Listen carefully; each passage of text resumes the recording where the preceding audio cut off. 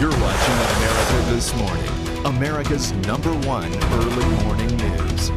And now to some aggressive driving in Florida that's getting a lot of attention online. A woman was recording as a guy in a pickup truck was right behind her. Well, he pulls up to pass by her, shot her the bird, and then he cuts her off and loses control.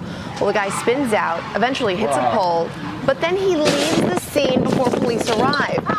Well, that woman, you hear her laughing there?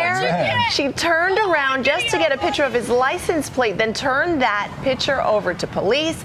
The guy was arrested for leaving the scene of a crash. I'm thinking she wasn't very intimidated by the guy in the Not big at truck. all. She laughs, cackles no less. That's what you get. And I then she goes back and gets his license plate. I can't figure out who was the bigger jerk in that video. I, think the truck driver was, but boy, oh boy. She was fearless. Imagine her on her worst day. No, thank you. Fearless.